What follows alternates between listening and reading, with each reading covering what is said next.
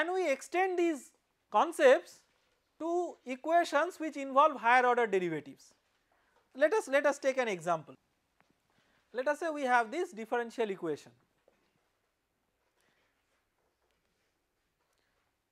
This is a fourth order differential equation that we can see and uh, this is many times a prototype of a very important problem in structural mechanics that is deflection of beams.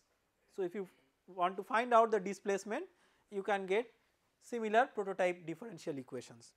Our objective is not to go into such a physical problem but see that how we can cast this equation in a similar formulation. So what we are going to do here we will see that how we can get a variational formulation out of it. What could be the types of boundary conditions let us be open and see that what could be the possible boundary conditions.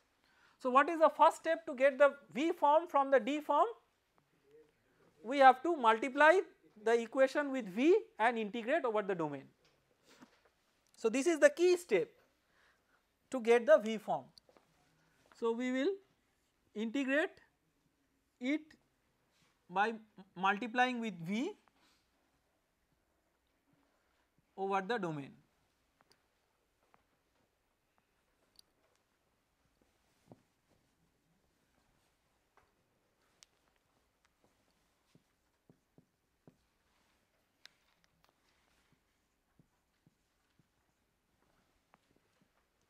Next, what we will do? We will integrate it by parts.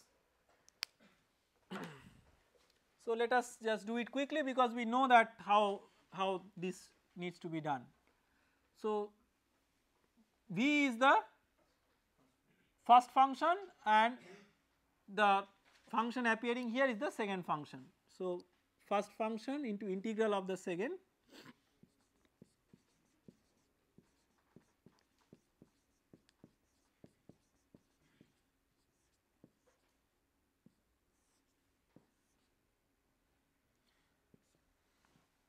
let us say that x equal to 0 and x equal to L are the bounds of x minus integral of derivative of first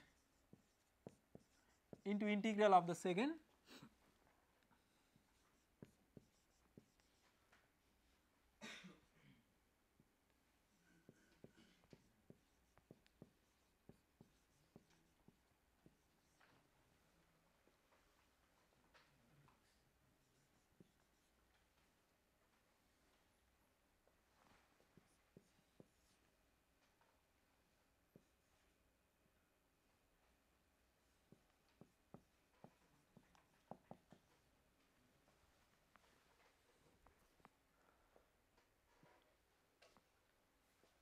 What with the what is the next step?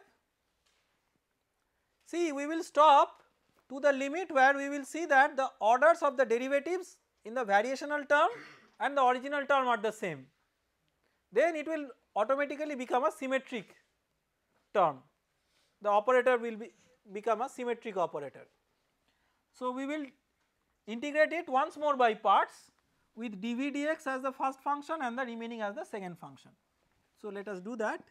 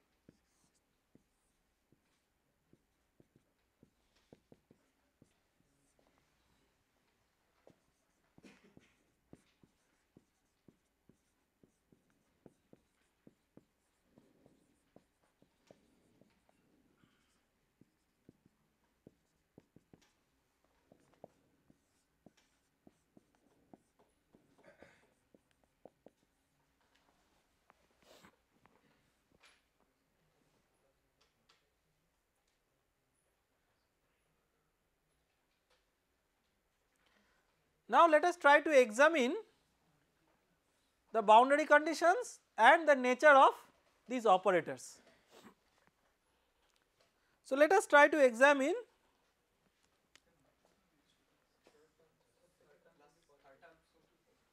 this will be positive right. Now let us examine the boundary terms. In this boundary term referring to this boundary term you tell me what is the primary variable what is the secondary variable primary variable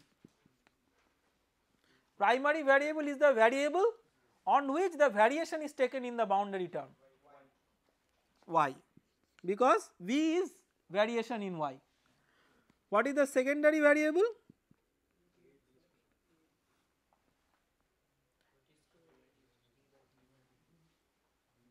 The coefficient of the variation term. So, whatever else remains other than v. So, d dx of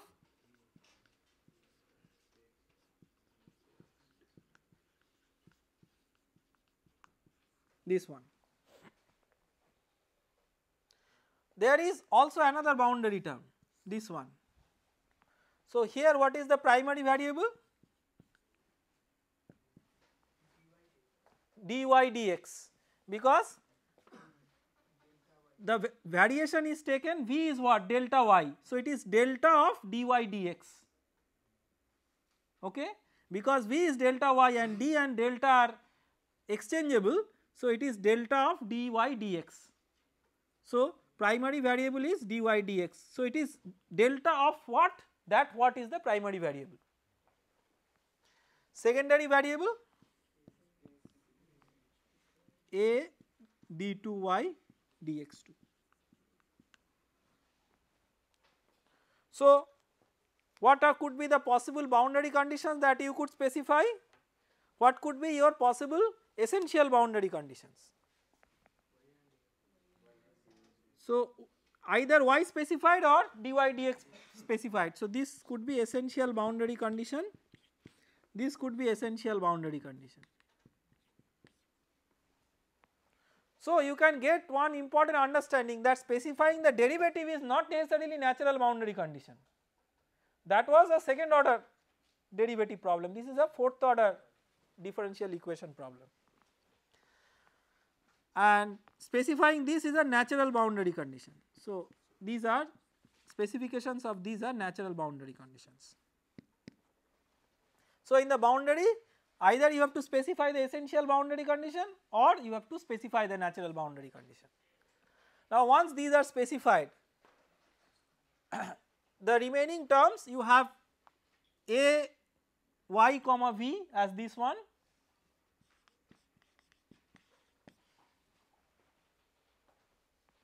and L of V as this term. Obviously, when you substitute the boundary conditions here, the boundary conditions are not such that they are always 0.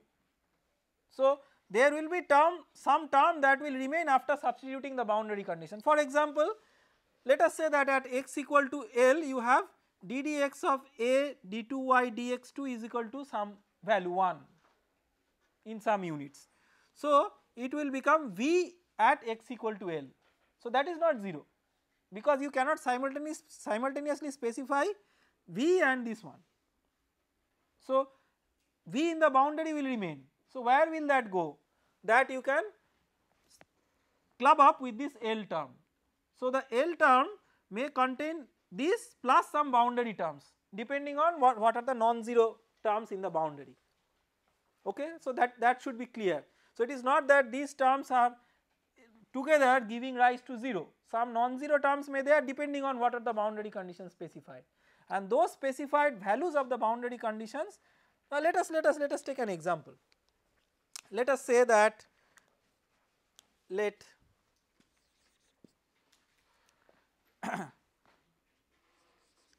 y is equal to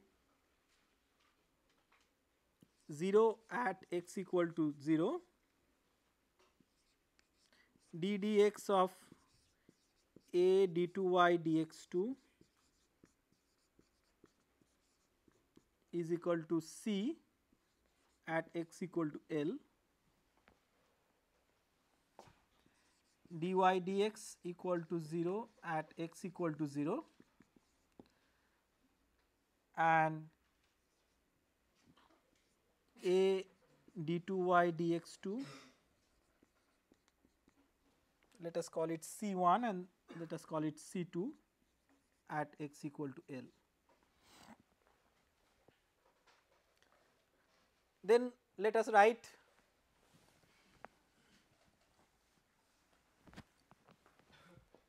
the corresponding terms. So, in the boundary term you have at x equal to 0 this term will be 0 even if y was non-zero but some specified that means v is 0 okay. So, here it will be minus uh, sorry this is equal to v at L into C1 this minus 0. So, that is the boundary term that we get from here then minus at x equal to L it is C2. So, C2 into dv dx at L.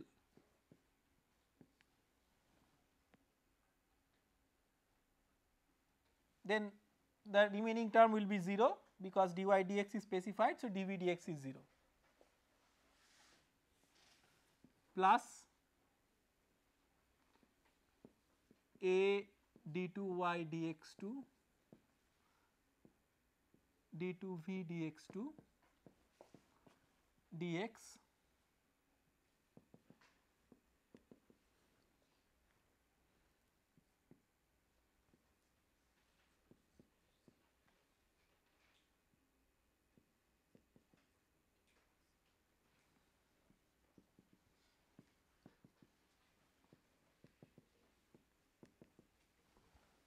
okay. So, this you can write in the form A y v equal to L v.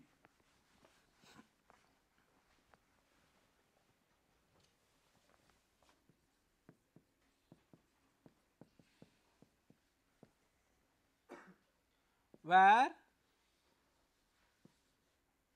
A y v maybe let us use a different symbol say capital A because we have already used one small a in the problem where what is capital A y v?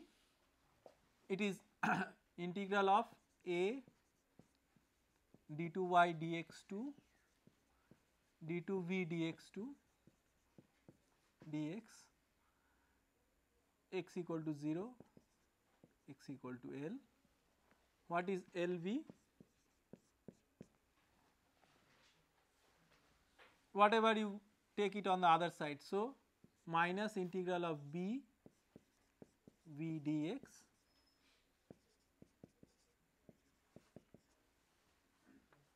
minus VL C1 plus dV dx L C2. So, this is a linear operator on V. So, the objective of going through this example was to illustrate that even some terms from the boundary they do remain, they also can be clubbed and put in this general form. So, here also you can see that capital A is symmetric and it is positive definite. Capital A is a bilinear operator and L is a linear operator. So, with these considerations you can also convert this problem into a corresponding M form and that I leave on you as an exercise it is very simple one more step can lead it to M form. Now we have seen that how to make a variational formulation of a differential problem differential equation problem and not only that how, how can that problem may be converted into an equivalent minimization problem. The question is that once we have formulated these types of problems we were intending for some solution but never we hinted that how should we get the solution. We, we were abstracting ourselves from the solution, we were not putting so much of attention on how to get the approximate solution, but the formulations which can perhaps lead us to the approximate solution.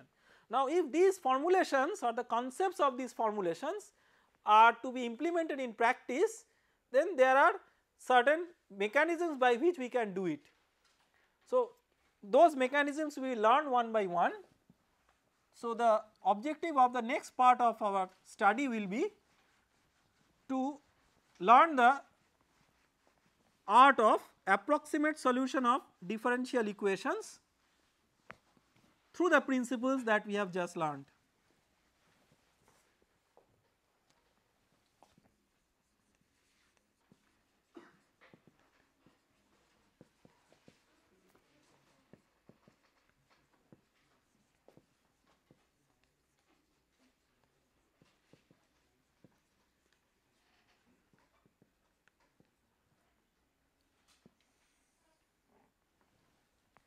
So, when we say approximate solutions of differential equations, the situation is that we can have various techniques, really a lots a lots of techniques for using which we can get approximate solutions.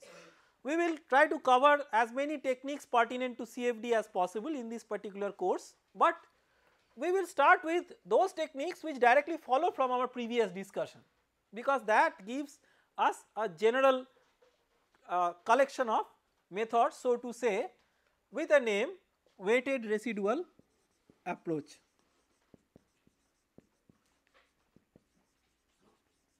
This approach gets a clue from the variational formulation.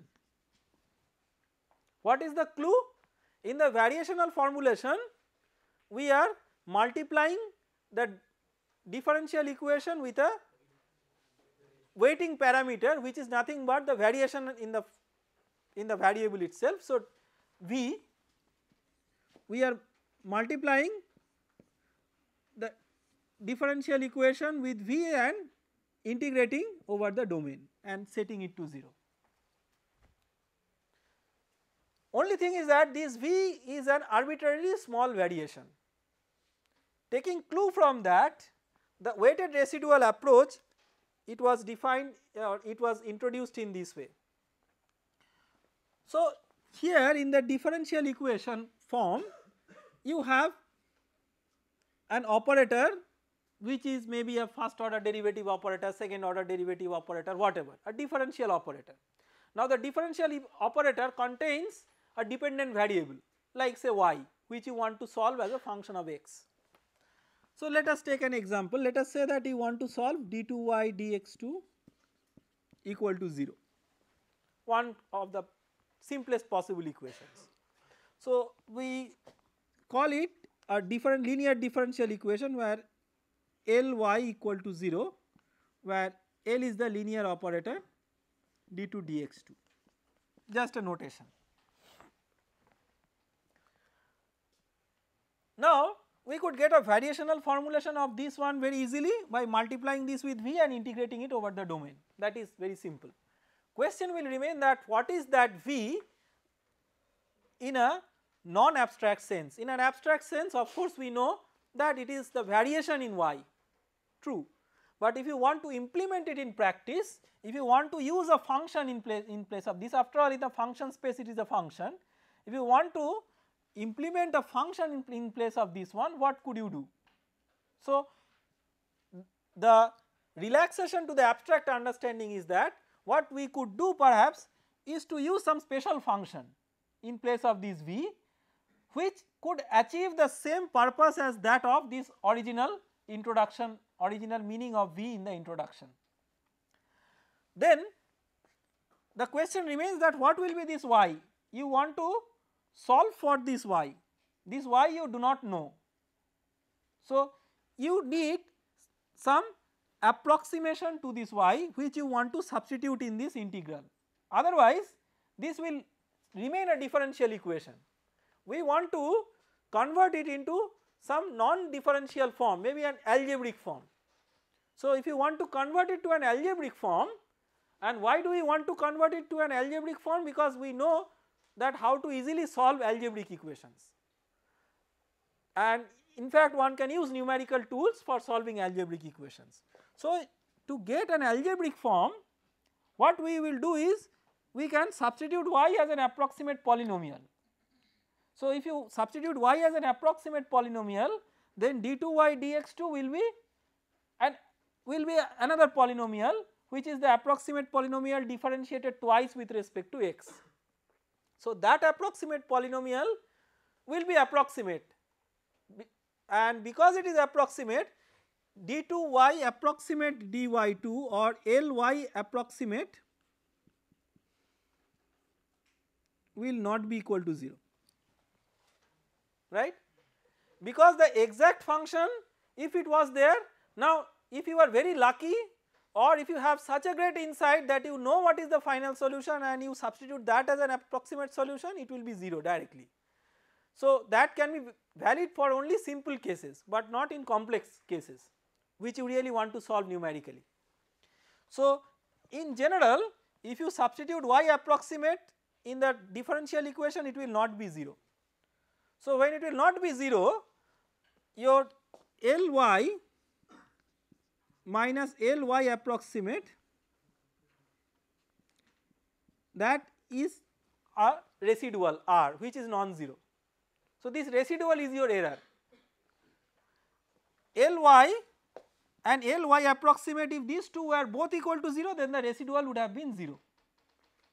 Because Ly itself is 0 your Ly approximate is the residual. Your objective is to minimize the residual in an integral sense over the domain. So for that what you do is you multiply it with a weight function and make the weight function in such a way that in an integral sense over the entire domain the error incurred because of substitution of an approximate y in place of the actual y is minimized. So that approach in a mathematical formalism is called as weighted residual approach. So what it is basically trying to do you are writing the residual you are multiplying the residual with a weighting function w which is a non abstract function which is not like the variation in y but it is some function we will later on see in the next class that how to choose these functions and integrate it over the domain. So let us call it d omega where d omega is an elemental part of the domain and set it to 0. So by this what we try to do try to minimize the error or the residual in an weighted integral sense.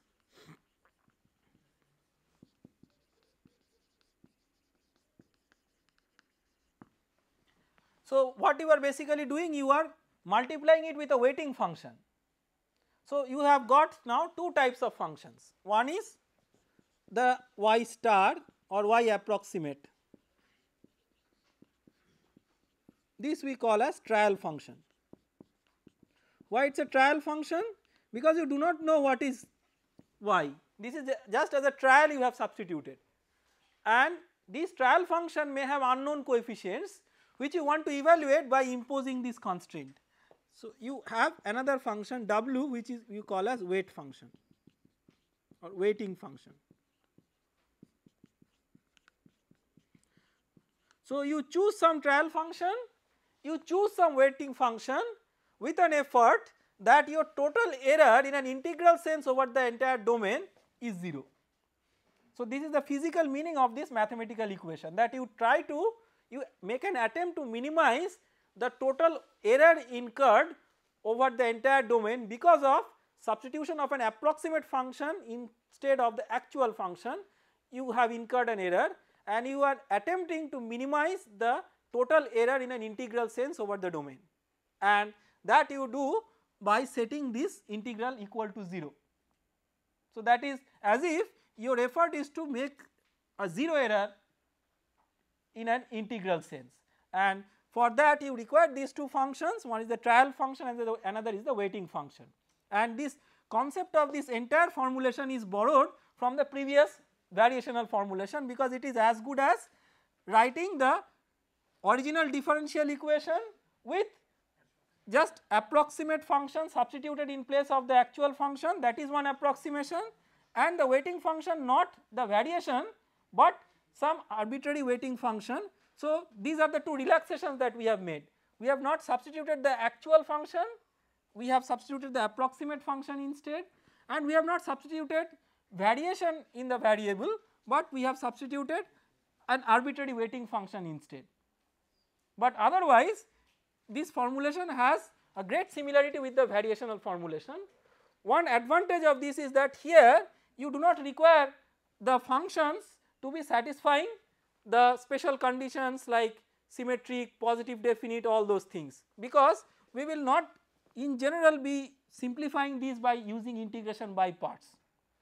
So, these functions will require some other special requirements that we will see in the next class, but we can see that these functions are not as rigorous as that of the original functions, original solutions and the variation and therefore, it will lead us to the approximate solutions of the differential equations. How it can lead us to that, that we will see in the next class. Thank you.